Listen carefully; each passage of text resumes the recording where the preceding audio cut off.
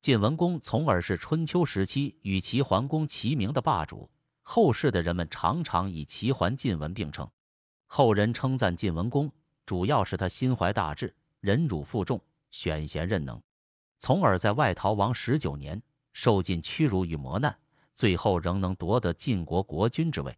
他在位时重用胡偃、先轸、赵衰、胥臣、栾枝、季缺等贤能之人，最终使晋国称霸诸侯。但是孔老夫子却对晋文公颇有微词。孔子将晋文公与齐桓公进行了对比，认为齐桓公为人正道，不善于搞权谋，而晋文公则正相反，他为人不正道，还擅长权谋之道。齐桓公称霸诸侯，打的是尊王攘夷的旗号，目的是维护周王的尊严和周代的礼乐制度。齐桓公出兵打仗，要么是帮助诸侯国打退异族的入侵，保卫了华夏文化，要么是诸侯国不尊重周王室。齐国代周讨伐，孔子认为齐桓公所做的这一切都是合乎道义的正派之事，而晋文公称霸诸侯，缺乏鲜明的旗号，采用的是诡诈的手段。晋文公与楚国开战就缺乏正当理由，而是通过攻击楚国的盟友郑国来激怒楚国。在城濮之战中打败楚国，采用的是阴谋诡计，名义是退避三舍，是为践行对楚成王许下的诺言。实际上是诱敌深入，将楚军引进预设的战场。战胜楚国后，与诸侯国会盟，竟然以臣子的身份召周襄王前来撑场面，这在孔子看来简直就是大逆不道。因此，孔子在写《春秋》时，将这件事写成周天子在河阳打猎，而没有直接写出周天子到河阳的原因，也是为了给周天子留点脸面。晋文公讨伐周边的小诸侯国的理由。也没有一个是为维护周天子的尊严和周礼，全都是出于报复之心。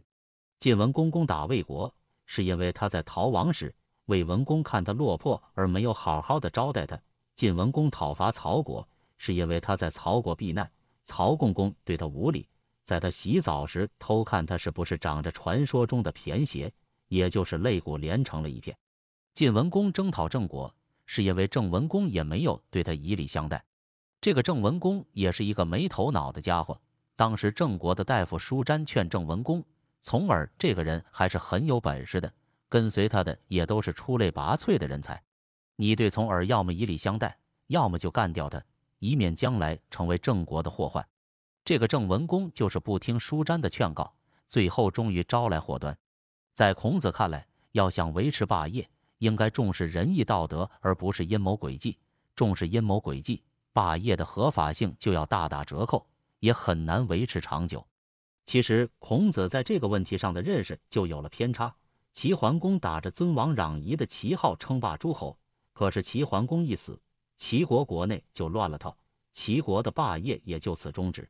晋文公虽然靠计谋称霸诸侯，但是晋文公死后，晋国仍然称霸诸侯时间长达上百年。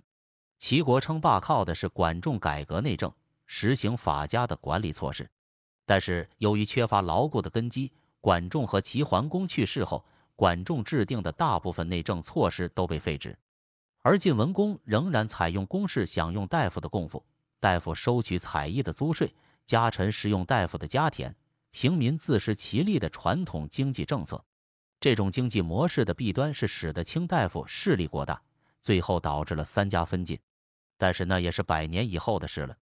其实，晋文公的主要功绩，正如顾颉刚所评价的，是稳定了晋国的内政，壮大了晋国的实力，通过城濮之战遏制住了楚国的北上。他的儿子晋襄公又通过崤之战遏制住了秦国的东进，使中原各诸侯国有了休养生息的机会，渐渐孕育出了后来百家争鸣的灿烂文化。